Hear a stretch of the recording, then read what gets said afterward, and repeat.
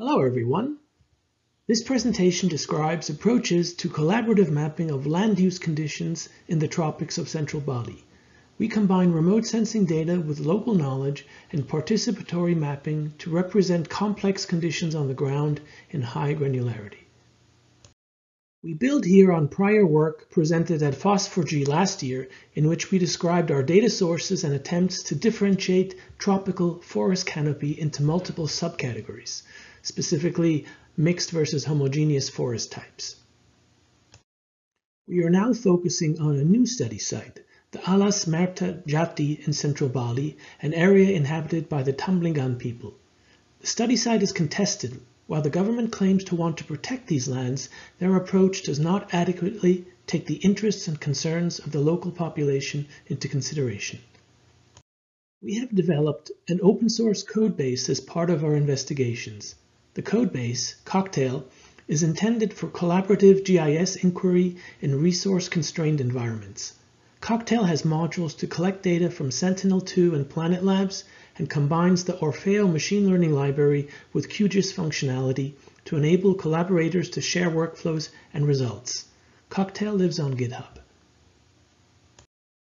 Interpretation of the optical satellite data can be tricky, as the next two slides demonstrate. Rice paddies on the left and grasslands on the right of this slide appear very similar in spectral and textual information. Only the fourth infrared band allows one to differentiate these two categories, as we see here in the Planet Lab asset 4-band DOVE. The top two images show composite false color representations of water with grass on the right and rice paddies on the left. The bottom two true color images show settlement and grasslands adjacent to a body of water.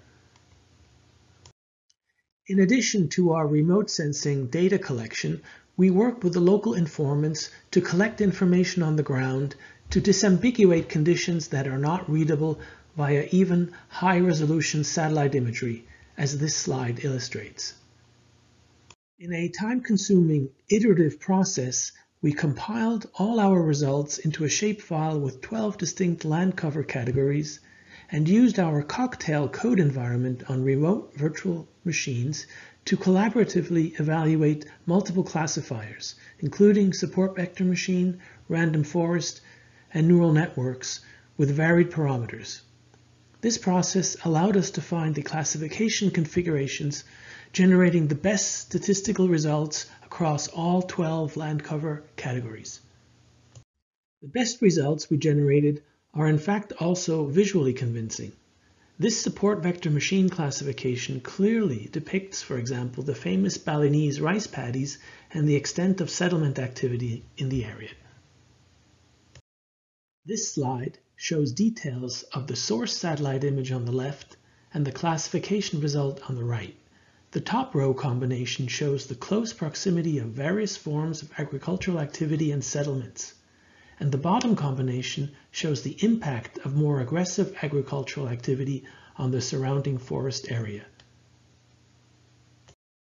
In the spring of 2022, PlanetScope introduced a new satellite configuration, Coin SuperDove. These satellites have the same spatial resolution and a total of eight bands as opposed to the four bands of the DOVE system our first round of studies were based on. We are hopeful that the new SuperDove datasets will generate even better results as we continue our work. The image on the left shows a support vector machine analysis of an almost cloud-free image produced by SuperDove in May of 2022, and the image on the right shows a superset of our study site from the website of Global Forest Watch. Bringing clearly needed GIS attention to understudied areas in the emerging economies is one of the goals of this project. Thank you all for your attention and goodbye.